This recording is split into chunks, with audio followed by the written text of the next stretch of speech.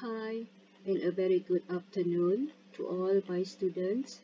Today I would like to deliver my lecture with a topic on valuation for leasehold interest. This lecture will comprise of the leasehold property, property interest, reason to the leasehold interest valuation, type of leasehold terms, leasehold valuations, and case study example we go to the our first topic which is the leasehold property. So leasehold property is also known as business property where the property owner lets out the property to the tenant or also known as a leaseholder or the investors hold the property for business purpose with the expectation for a return on investment the leasehold property also can be categorized as a property that generated income from the business lease or tenancy. Return on investment of this type of property is heavily based on the rental value receivable from the leasing or tenancy entered into the agreement between the landlord and the tenant. Okay, we go to the next topic on the property interest. There are two types of the property interests. They are freehold interest and leasehold interest. And for this purpose of uh, lecture, I would like only to discuss on leasehold interest. In relation to the property, interest is always addressed as a right to own or to occupy the building or premise after both parties, owner and tenant, agreed with the lease term and signed the tenancy agreement. So, this lecture will focus on how to value the interest of the leaseholder or tenant only. So for the next lecture or the next topic will be the reason to value the leasehold interest. Why we need to value the leasehold interest? Why the leasehold interest is so significant. Okay, there are many reasons. Some of them is that tenants are used to receive notice from time to time during the tenancy to shorten the tenancy agreement with certain reason. Some of them is just like, for example, the landlord receive notice to compulsory acquisition for the property from land office or maybe the landlord would like to sell off the property and the new owners has no intention to continue with the present tenancy. Or maybe the tenants wish to buy out the property's interest by himself.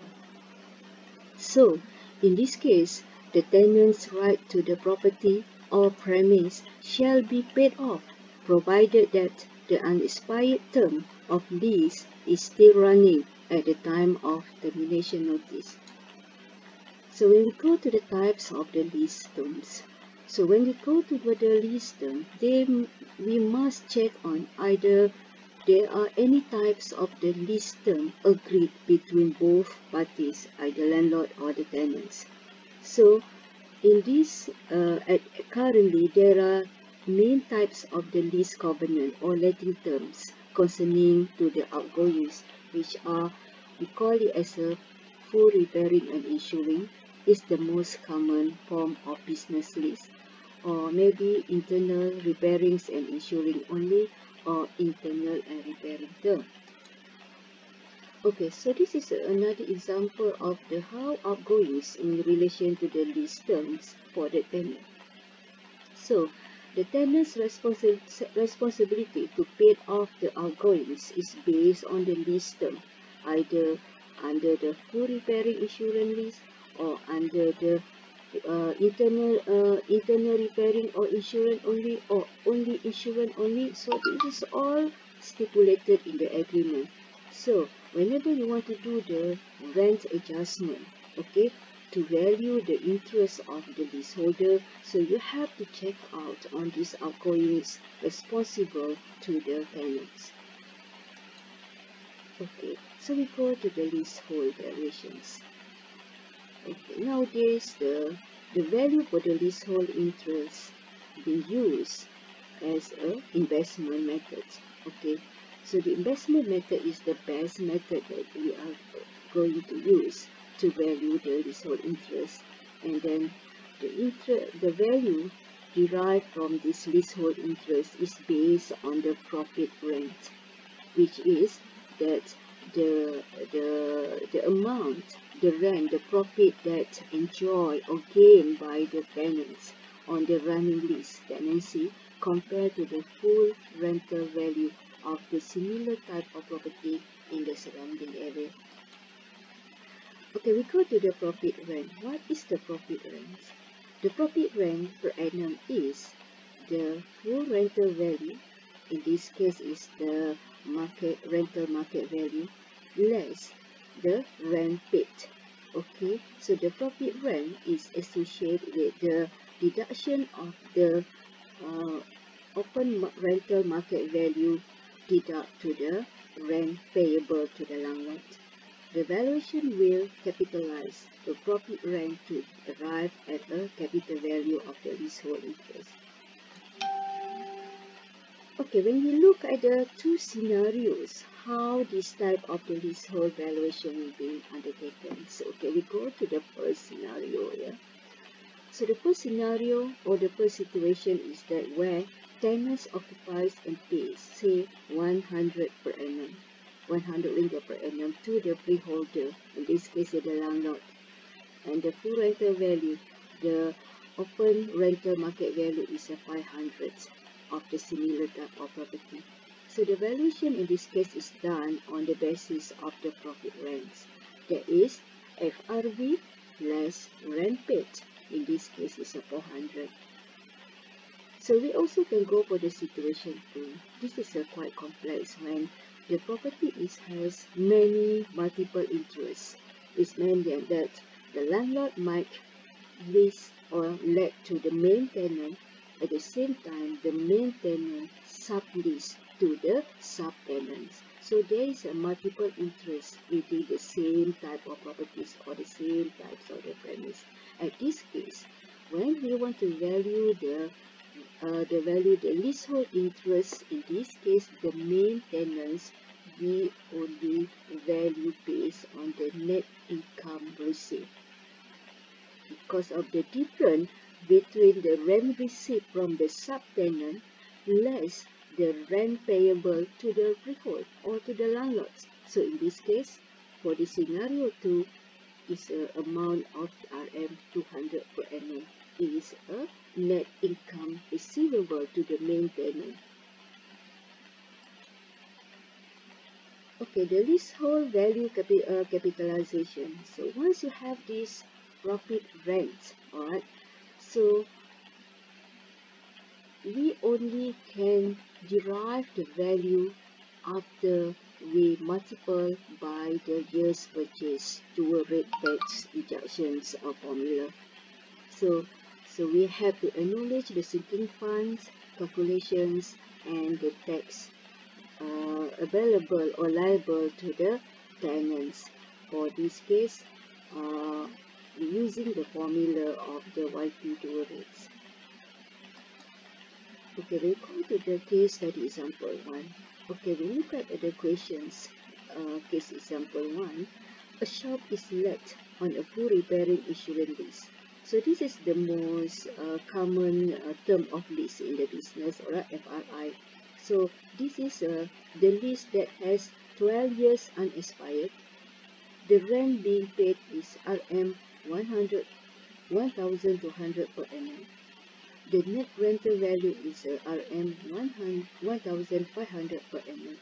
Assume a yield of 7% and a tax liability of 40% value the leasehold interest. In this case, where uh, uh, we are using a sinking fund of the 2.5%. Calculate the capital value of the leasehold interest. So, when we click on the suggested working answer, the first thing that we have to know is that this type of questions, the, the lease type is a full repairing insurance term. So that's mean is a net. Alright, the the rent payable is for 100 to 100 per annum is going to be the net. So definitely we are going to use the YP dual rate because it's the interest, uh, uh, leaseholders interest. So we allocate the sinking part of the 2.5% and tax liability of the 40% and also we assume the yield, the, the, the rate of returns for this type or similar type of property is about 7%. So we look at the working answer. So we look at here, we look at the, the diagram here. So we have to know that from the date of valuations, alright, this property still have 12 years unexpired term to go until the tenancy is towards the end. Okay, so for the next 12 years, alright, the tenant has to pay 1, 1,200 per annum to the landlord. And then you must also remember that for the next 12 years, with the rent payable of 1,200, the full rental value of this type of property in the market is uh, 1,500 per annum. But this only can be enjoyed by the landlord after the tenancy agreement is ended, which is still deferred 12 years from the date of valuation here. Okay, when you look, look at the suggested answer down here, okay, first we have to know that what is the FRV? the FRV, the full rental value or the rental value market in, in the market. Alright, so FRI, FRI here is the uh, FRI terms, which is the net here, right? So this is a uh, 1500. Okay, look at here, the FR, FRV is a 1500. So we less the rent paid. So the tenant paid to the landlord is uh, 1,200 per annum for the next 12 years until the agreement ended. Alright, so the deduction of the FRV and the rent paid. So we will get the profit rent. So at this case, study example 1, the profit rent is uh, 300 per annum. Okay, based on this 300 uh, 300 per annum, we capitalize this profit rent into the value just to derive what is the value of the leasehold interest using the YP dual rate okay, for the next 12 years with the yield 7% and, and we acknowledge the sinking fund of the 2.5% with, with tax liability of the 40% and then we get the capital value of the leasehold interest of the 1572. Okay, if we go to the case study example 2, alright, we go to the case study example 2, the same question, but we change the lease term. The lease term from the case study example 1, which is the FRI, so we go to the internal repairing lease. Alright, so the list, the rest same, still the same, only the term of lease is different. Okay, so when we go, if we want to go to value this type of property, so the first thing that we must be make sure that the lease type is the IRL term, okay, internal repairing lease. So if the tenant were only responsible for internal repairs, then the tenant would expect to pay more than 100, 1,200 per annum. That is 1,100, 1,200 per annum plus external repairs and insurance to put the FRV on the same basis. Because of the external repairing and also the insurance will be borne by the landlord because the tenant only responsible for the internal repairs only so the rest will be the same so we look at the how is it the answer will be look like so everything will be remain the same only that we have to do the adjustment for the FRV. So the FRV, we have to do adjustment to the FRI from the IRF.